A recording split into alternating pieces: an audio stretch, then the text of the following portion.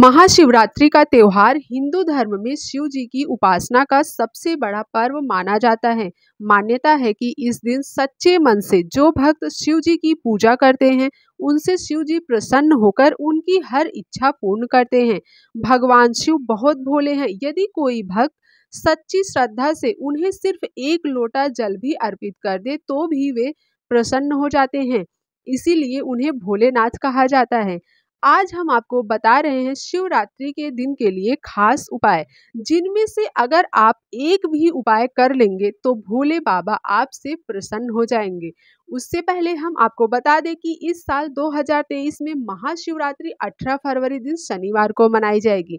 तो आइए जानते हैं महाशिवरात्रि के दिन किए जाने वाले खास सात उपाय के बारे में। महाशिवरात्रि पर रात में किसी शिव मंदिर में दीपक जलाएँ। शिव पुराण के अनुसार कुबेर देव ने पूर्व जन्म में रात के समय में शिवलिंग के पास रोशनी की थी।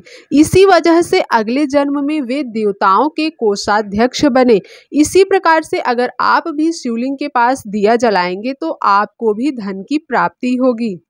महाशिवरात्रि पर छोटा सा पारद, यानी पारा शिवलिंग लेकर आए और घर के मंदिर में इसे स्थापित करें।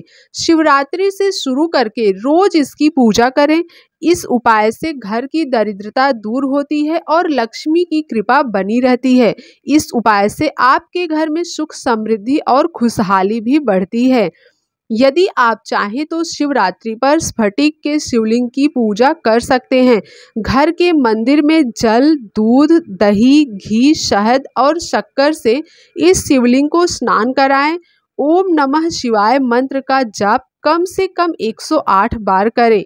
इस उपाय को करने से आपको नौकरी या व्यापार में आ रही परेशानियों से मुक्ति मिलती है। हनुमान जी भगवान शिव के ही अंशावतार माने गए हैं। शिवरात्रि पर हनुमान चालीसा का पाठ करने से हनुमान जी और शिव जी प्रसन्न होते हैं। इनकी कृपा से भक्त की सभी परेशानियाँ दूर हो सकती है।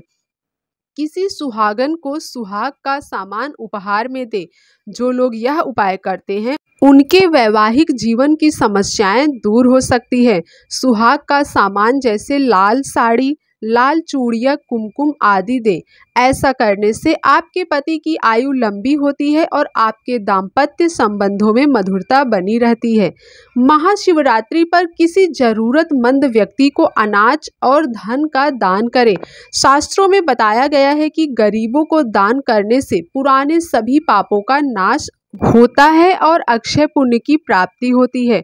आप चाहे तो इस दिन किसी शिव मंदिर में जाकर शर्करा का दान भी कर सकते हैं।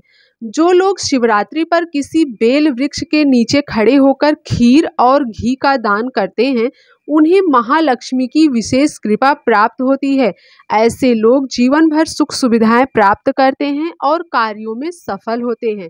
तो ये थे सात उपाय जो महाशिवरात्रि के दिन किए जाते हैं। इनमें से कोई भी एक उपाय आप अपनी सामर्थ्य के अनुसार कर सकते हैं।